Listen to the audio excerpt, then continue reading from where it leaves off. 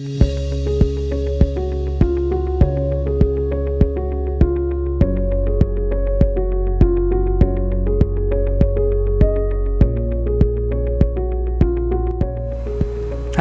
I'm Saurav Singh.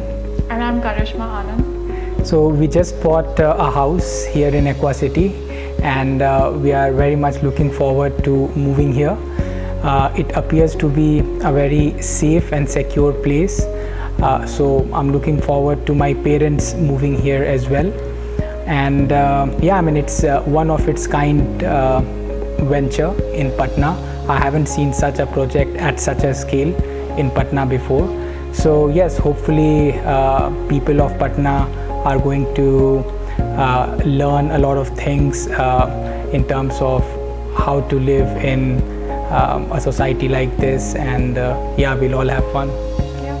Yeah. I'm considering this is our first investment together as a couple. We hope and pray that this turns out to be a good investment.